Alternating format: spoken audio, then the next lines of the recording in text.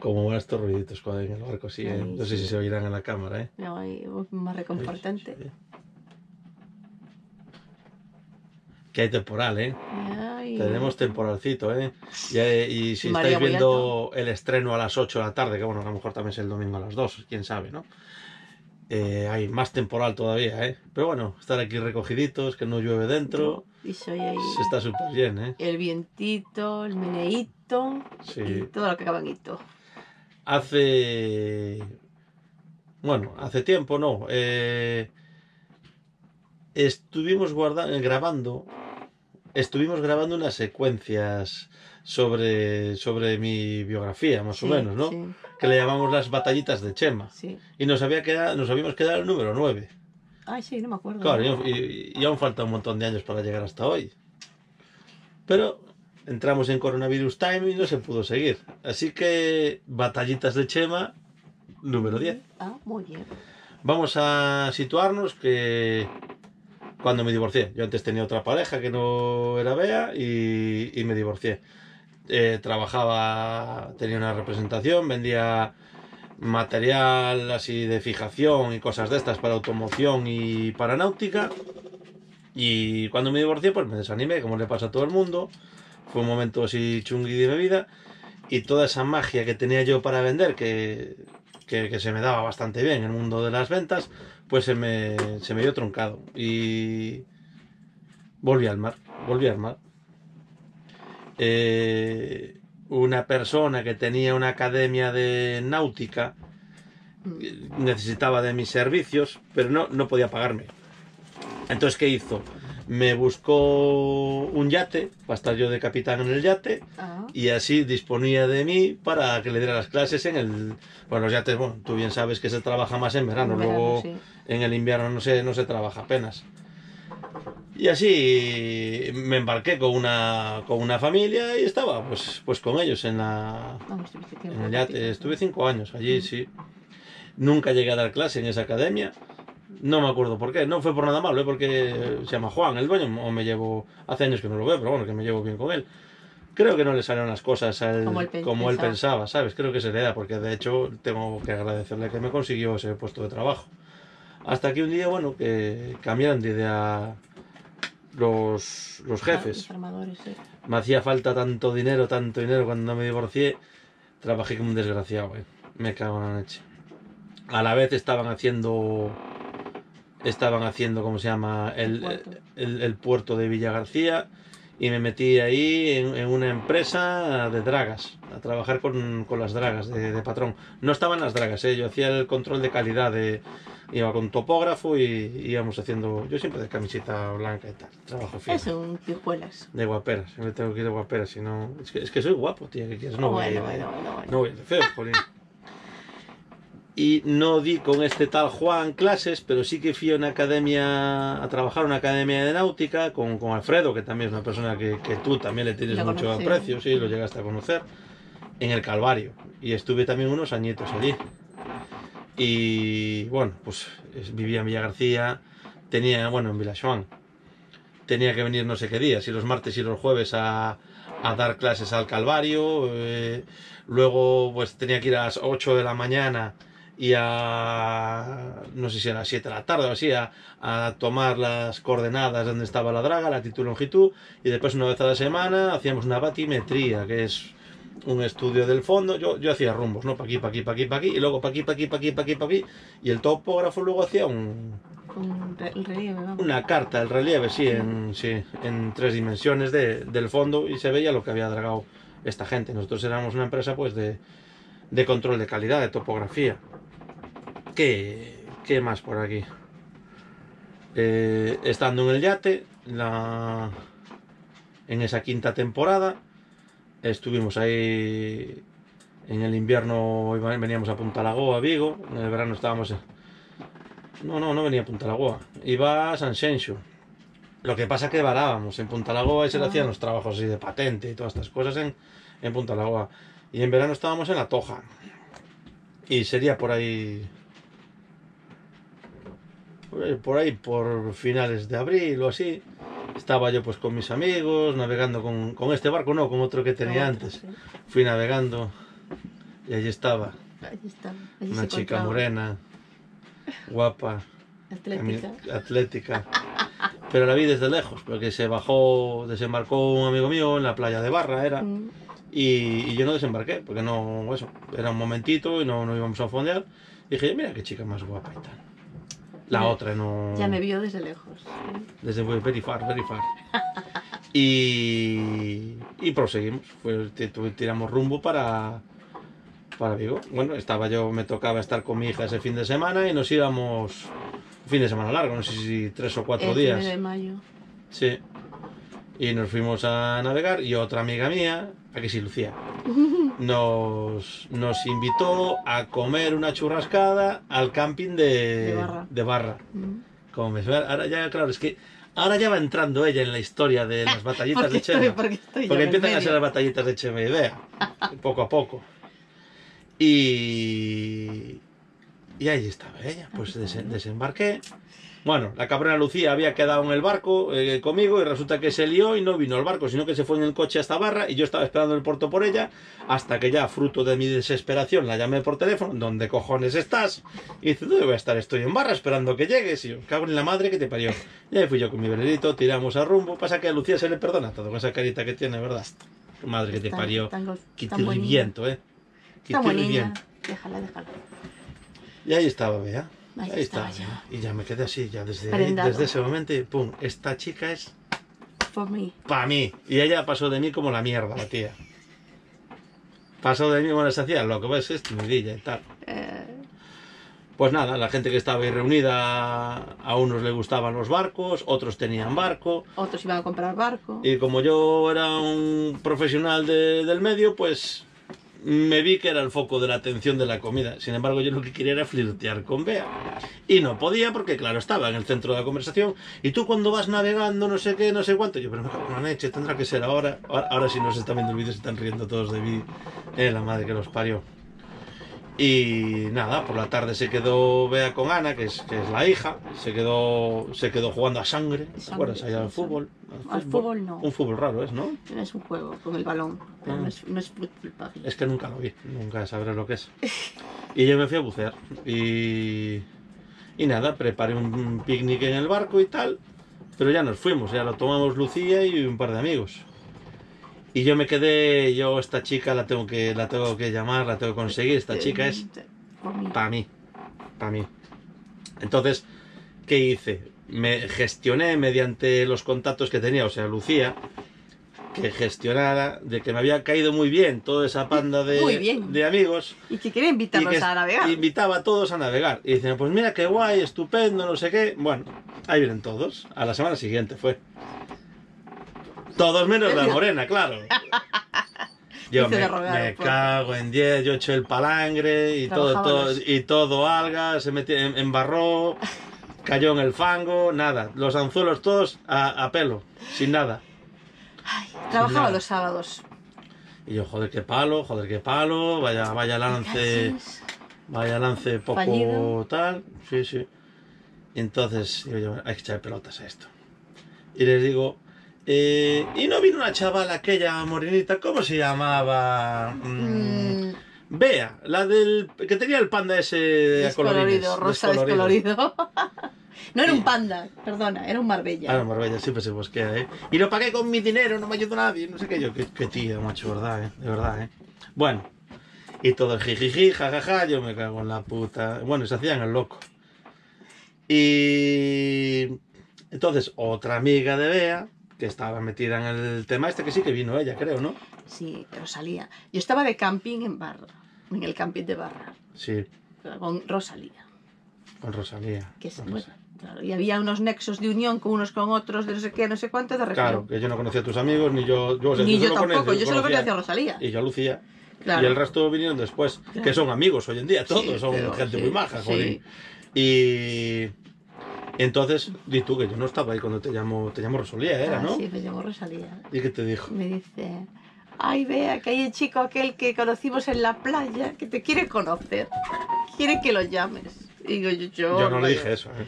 Yo dije a ver si podía, que me apetecía que viniera ella. Claro, ya, ya. Qué jeta, Sí, ¿eh? jijiji, pero esta Rosalía entre risas. Jijiji, ¿qué querrá, qué querrá? Sabe Dios. Y bueno, a ella lo llamé. Voy a llamarlo. Pobrecito, voy a llamarlo. Sí, pobrecito, sí. Hola, sí, soy Bea. Soy Bea. Y yo, joder, macho. Que vea, que vea. Y yo estaba también, llevo muchos años. En el verano vivo en el barco de hace muchos, muchos años. No era este, era otro, por lo que os decía antes. Y me estaba preparando la cena. Y me dice, ¿qué? ¿Dónde estás? Digo, estoy en mi barco, me estoy haciendo la cena y tal. Me dice, pues mira que... Yo trabajo los sábados. Yo trabajo los pues- sábados, pues sí no que pude ir, pero no pude. Claro. diciendo, "Ch, tranquilo, que yo quiero que metas ficha, pero lo que pasa es que no fue posible. ¿Entiendes? Yo estoy Tienes entregada. probabilidades. Me regalo a ti. Oh, oh, Estoy oh, prendada de tu oh, amor. oh, oh, oh. Pero claro, te lo soltaba así, ¿sabes? Como que. Yo, si quieres algo, yo soy Chema. Me tienes que avisar que yo no me entero, jolín. Las señales no las capto, jolín. Más corto que la picha de un virus. Para esas cosas sí, para otras no. Y, y nada, pues. Quedamos. Quedamos. Me dice, digo yo, podemos quedar para tomar un café y tal. Y me dice ya, ay, pues vale, oh, qué carajo. Yo la vi, la vi, bueno, la tía estaba así comiendo la mano, la tía a tope. Ya, bueno, que dice tomar un café, podíamos hacer por ahí. No, este me llegó un SMS. ¿Podemos tomar un café? Ahí sí, Sí. después Y- de que me llamaras. No, miento. Me hablamos total para tomar café. Y me llegó un SMS que si podíamos, mejor que tomar café, Es que no había WhatsApp. comer. Y cenar juntos. Sí, sí. Y cenamos, fuimos a cenar. A Ya, los molinos, eh. a Redondela. Eso- Esto es lo que, lo que rilla la tía esta. Qué cabrito es. Me cago en... ¡Hombre! Venía Oh. una pichimini. ¡Ah! Estamos, verdad, no, pero bueno. ah, Pero- la mujer pero- aquí va a Pero, pero, para ya, para ya. Y luego fuimos a, a la hora de pagar, la tía nos soltaba prenda. Yo, mira, yo creo en la igualdad. Que sepas que voy a pagar yo, pero vamos a ir a tomar algo y pagas tú. Claro. Olvídate. Claro. O sea que la diestré desde el principio. La diestra, dice. Y bueno, pasaron los años y los años y... Ay, a vivir juntos desde casi por ese momento. Desde ese, sí, un, un día aquí, otro día allá, teníamos cada uno en final- su casa y al final pues vivimos juntos desde siempre. Sí. Desde que nos conocimos. Salió bien la cosa al final, ¿eh? Pero yo siempre digo, ¿eh? es lo, lo que es ser extrovertido y ser tímida. Ya. Que si fuera por ti, no nos habríamos casado. Y, y yo le eché una jeta ahí de un par de Willys, como todo, ahí está, Ah, ahí lo tienes, a lo Ay, sí, loco. yo no- a lo mejor no hubiera, Tú porque tú lo vales, pero yo porque yo no lo hubiera hago. fructificado el tema. Nada. Y fruto de nuestro amor pues salió un petardo de un niño, es un poco petardo, pero bueno. Sí. Sí, así como nos conocimos, eh, estaba yo en el varadero con el yate este en el que trabajaba. sí. Y le y tenía que ir hasta La Toja, desde Punta Lagoa, en Vigo. Y le dije, vea, bueno, vea, ¿qué? ¿Vienes conmigo en el yate y tal? Me dijo, ya vale. Yo nunca había subido semejante barco. Y vol- sí. Y fuimos en el yate navegando hasta allí, lo dejamos todo amarrado. Y fue curioso lo que. Lo, que, lo mala que es la gente, ¿eh? De que me llama el dueño del barco y me dice, Chema, eh, ¿has llevado el barco ya? Yo, sí, sí, ya, ya lo. Ya está amarrado, Ya está, ya está, sí, ya está amarrado, está todo listo, la toja. Bueno, pues véngase por Vigo, que quiero hablar con usted. Y me fui a la oficina y me tenía todo el dinero preparado que me debía, un cheque, todo. el finiquito, usted, está usted despedido. Y tenía todo preparado para, para meter a otra persona. Mira tú qué, qué manera. Que al poco me llamó Sí, eso también. que ese nuevo patrón, bueno, me llamó acusándome de que le había hecho un boicot y que no le arrancaban los motores, ¿te acuerdas? Y, y digo, oye, mire, yo no soy esa clase de persona, pero si, si le parece, póngame con el otro patrón y a lo mejor entre los dos, pues lo arrancamos. Y resulta que eran los motores electrónicos que había que dar unos botoncitos y este señor pensaba que había que dar la llave como el coche y no era ese el caso. No. Y luego le dije, dale al botón verde, no sé qué, no sé cuánto, ahora gira la llave y hizo burrum, burrum, burrum, burrum. Y después me el armado, ay, ay, al final era una tontería. Sí, disculpa, Chema, te he llamado, no sé qué, tal. No, eso no salió, disculpa, Chema. Pero bueno, la vida nos pone a cada uno en nuestro sitio. Yo, yo, yo me considero una persona honrada y me voy a morir siendo lo ser- y pobre. Voy a morir siendo honrado y pobre, por culpa de que soy honrado. Pero bueno, salimos de ahí. Me pegué un verano sabático por primera vez en muchísimos años, porque fue a principio de temporada, me dejó Sí. colgadísimo él. Y al poco fue un grupo catalán, patrocinado por la Caixa Catalana, Sí. y, y preguntaron, bueno, desertó el capitán, de, era un velero así clásico, bastante grande, y era una, es una, bueno, es una ONG que se dedica pues a salvar cetáceos, a quitar anzuelos a las tortugas, no sé qué. Y bueno, se quedaron sin capitán Milla García. Y Milla García le preguntaron, ¿no sabrás de algún capitán? Y dijeron, "Uf, el Chemita. Lo malo es que no se calla nunca. Pero es, un buen capitán es un- y es una buena persona. Pero no se calla nunca, ¿eh? No se calla nunca y tal. Y... Y ahí fui, me, me llamaron, me dijeron lo de las tortugas, que había, había que ir a ver cachalotes y no sé qué. Allá va el Chemi. No pregunté ni cuánto, es que no me preocupé si me pagaban, me, me fui gratis. Oh, no, él contaba que no le iban a pagar. Pensó que era algo como en una ONG que, Sí, que iba a ser la cosa. que iba a ser por la jeta. Pero dice, va la experiencia me no me la quita nadie. Que va, lo pasé. Y al final cobró, cobraste mucho. Hicimos amigos ahí muy, muy buenos, me pagaron súper, súper bien. Sí. Y, Y- disfrutaste. ¿Te acuerdas que Yo estaba embarazada todo esto. Embarazada del petardo, también, sí, del sí, sí, sí. Porque esta es una pelandro, es que rápido se quedó preñada la tía. No te voy a contar detalles porque, bueno, eh, el, saliendo, salí del puerto de Villagarcía y teníamos que ir a Vigo y allí nos iba a recibir Chuslago, que estaba de, De conce- de concejala, de, de medio ambiente. de mi- medio ambiente y tal, ¿no? Y, y salgo de Villagarcía, una maniobra un poquito, un poquito complicada, tampoco súper complicada, ¿no? Una zona estrecha y tal, con un poquito de viento, y se me pone un- uno de los biólogos en la prueba, 10 metros, 5 metros, 3 metros, yo, este tío me está tocando, ¿qué, qué pasa aquí? Y todo el rato así, bueno, llegamos a, a Vigo y otra vez, 10 metros, 7, 5, cuidado que le vas a dar, tal. Así, yo, esta, esta gente que piensa que... Chuslao era el día siguiente, no ese día. Ya amarramos y al día siguiente estábamos en el Club Náutico de Vigo y teníamos que ir al muelle de Alashi. Los que sois de Vigo, pues conocéis los muelles. Es, eh, los que somos de otro sitio, pues es un, muelle lado. contiguo al otro. Está nada. Tardas tres minutos en ir con el barco. Tenían, es verdad, un motorhome que lo, que lo convertían en un, Un aula. chisme, o- aula Sí, audiovisual. sí, sí. Y el camionero era gallego, también era de Ferrol. Porque eran todos catalanes menos yo en el barco. Y. Y. Entre ellos. Y yo, me cago en el 10. Yo pensé que estaban riendo de mí o que pasaba algo, ¿sabes? Vamos, bueno, en barca viene, o sea, viene Chuslago. Le, le, le dijeron, mira, que este es paisano tuyo, que se me dio la mano y tal. Y, y muy bien, muy, muy maja. Y luego volvemos otra vez a- al náutico, otra vez cuchi, cuchi, cuchi, cuchi, cuchi, cuchi. Y me, me dice el camionero que era, que, era gallego, me dice, estos están flipando contigo, eres el primer capitán que viene que sabe atracar el barco. Yo, hostias. Dice, sí, sí, sí, que aquí hay gente que viene que, que el título efectivamente lo tiene, pero que no, no sabe hacer el trabajo. Y, y claro, que tú le haces unas cosas con el barco que no están acostumbrados. Y entonces le dije yo, pues yo ya estaba mosqueadísimo con lo de los 5 metros. ¿Qué coño pasa aquí? ¿Me están y el vacilando? o qué?". cuchicuchi y el cuchicuchi. Y el cuchicuchi al final. Y hicimos amigos para siempre, ¿eh? que gente súper Sí. súper maja, jolín. Luego eso, les entré con la condición que me venía no sé qué día, En octubre. En octubre. el 15 de septiembre o algo así, ¿no? 15 de septiembre. O el 1 de octubre. El 1 de octubre. No, el 15 de octubre El porque... 15 de octubre, porque David da- iba a nacer a finales de mes. Claro, y eso nació Sí, el 6 de sí, noviembre al final. Sí, sí. Y, y digo que si no mi mujer me mataba. Y desembarqué, bueno, estuvimos trabajando por el estrecho de Gibraltar. Eso se puede hacer un vídeo aparte un día porque es muchísima historia para contar. Y, y- y, bueno, de- desembarqué en Huelva, en el puerto de Huelva, y cogí el avión en Jerez y ya me vine para casita. Al poquito, pues lo que estábamos diciendo, nació, nació David, Mm, que tiene ahora Ya 12 formamos años. Estamos hablando entonces de hace 12 años, porque está a punto de cumplir 13, o está a punto de De cumplir cumplir 13. 13, sí. él.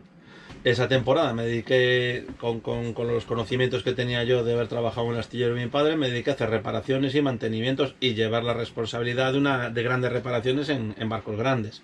¿Te acuerdas? Que mm. nos iba muy bien.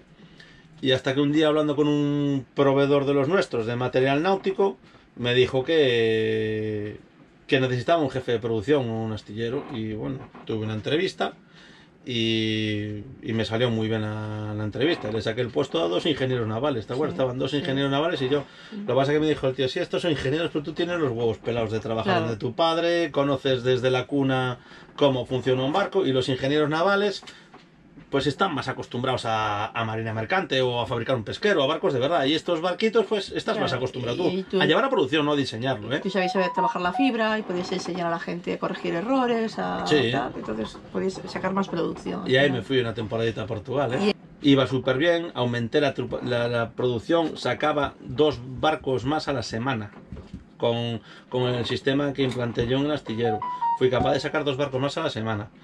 Y ahora que está muy de moda la palabra crisis, nos hundió, pero por los suelos, a y a mí, ¿te acuerdas? Sí, Nos- sí, nos teníamos cogió mal, sueldo sí, buenísimo, estábamos empezando a recuperarnos porque yo de divorciarme lo había pasado fatal, Claro, una vida estaba de baja. súper perra. De baja, vamos, de baja, no estaba trabajando. Sí, Bea, claro, yo tenía muy buen sueldo. Pues nos apetecía que fuera madre a, a- a Aprovechar tiempo completo tiempo, sí. un, un año o dos, era, Sí. era la idea que teníamos, era el proyecto de familia que teníamos. Y me quedo sin ese trabajo. Aparte, otro, otro chabacano más. Eh, Le haces todo el trabajo bien y tal. No fue culpa de él porque no le daban los números y yo cobraba lo mismo que 10 portugueses, pues sí. Sí. Y aparte que empezó la crisis ahí. Claro, pero el rollo que fue, hasta luego, hasta luego, hasta luego, y me llama por, Por el camino por teléfono, teléfono, me dice, me saben fatal, pero estás despedido Claro, y tal. No de ir un cara a cara, no fue por Digo, teléfono. "Hostia, pero eso no, y, y que, que- que no se atrevía a decirme a la cara y tal. Mm, Y, y otra vez nos vimos en la, en la mierda. mm. Y ahí volví a la, a la naviera que tantos años antes había estado, los barcos de pasajeros. Y llamé al armador, mira, soy Chema, el patrón, ¿te acuerdas de mí? Dice, ¿cómo no me voy a acordar de ti? Claro que me acuerdo de ti y tal. Yo necesito curro, de- a ver si tienes esa plaza para mí. Pues sí, hombre, sí, empiezas mañana ya. Me dice, ¿tú tienes el Rorro y el avanzado sanitario, el qué? Dice, no los tienes. y dice, esto ha cambiado mucho desde que trabajabas tú. Y bueno, me tuve que... Yo soy patrón mayor de cabotaje. Y tuve que ir a sacarme el RORO, formación específica avanzada sanitaria, se me había caducado GMDS, que es un título de estos para poder andar con la radio. Mariconadas Bueno, varias, un vamos. montón de titulitos. Diplomas por todos lados, pero sin ellos no curras. Tuve que recuperar todos y de paso me saqué el ECDIS, que es para las cartas electrónicas, me saqué el ARPA, eso ya porque me aburría, me tenía tiempo libre y me, me puse a sacar todo eso. Tuvimos que ir hasta, uno no lo había en Galicia, me tuve que ir a pasajes, Pasajes, ¿te sí. acuerdas? Estuvimos En las artes. casa de unos amigos en la Sarte durmiendo y, y ahí empezamos a trabajar otra vez en la naviera. Saqué todas las porquerías esas que tardé tres meses en sacarlas y empecé a trabajar con la gran promesa de nuestro querido armador de que me iba a hacer indefinido. Mm. Y al final del verano Al final, patada en el culo para casa a otra vez. octubre, En octubre, Sí. Y yo, después de eso, me presenté a un trabajo y ya me cogieron. Sí, y, sí. A se faleció. Tenía David 10 meses. Y empezaste tu periplo en el pescado. También, ahí. exactamente, ahí fue mi inicio en el, el mundo del pescado. Tu mundo laboral es de automoción de toda la Bueno, vida. sí, Casi muchos siempre. años, sí. Bueno, de todo, hice de todo. Sí, administrativa, vamos. Mm. Entonces, la administrativa puede entrar en muchos sitios, es lo bueno que tiene. Sí. Yo, mientras, si no flota en lo mío, olvídate. Pasa que bueno, porque hago más cosas, pero si no de, de patrón no tienes mucha más alternativa. Uno de los cursos que fui a hacer a Bamio, eh, tenía que dormir allí, comer y Sí. tal. Pasa que a veces venía para casa. Y, y al mediodía había una, una biblioteca en la cual pues podías leer, estudiar o y también había ordenadores. Y me puse a San Google, fui a San Google y encuentro se vende Fortuna 9, ojo, está en muy mal estado. Aquí los tengo. Aquí está, Aquí- aquí compramos el barco. A ver si otro día puedes tú meter aquí unas fotos, porque vídeo no teníamos, no hacíamos entonces. Mm, Unas fotos de cómo estaba. Compramos El pues, antes y el después. siniestro total y, y se empezó a restaurar esto. Pero yo creo que eso es una historia que tiene que ser Sí. contada otro día. Otro porque si no, mira, ya estamos en 25, Cinco. con la edición tuya se va a quedar en 21 o así. Y ya está bien, yo creo. Por hoy sí. Espero que os haya gustado el vídeo. Sí. Yo creo que sí. Bueno, pues ya sabéis, el viernes a las 8, si Dios Ay, quiere. ah, bueno, o el domingo a las dos, sabe Dios. Venga, chao.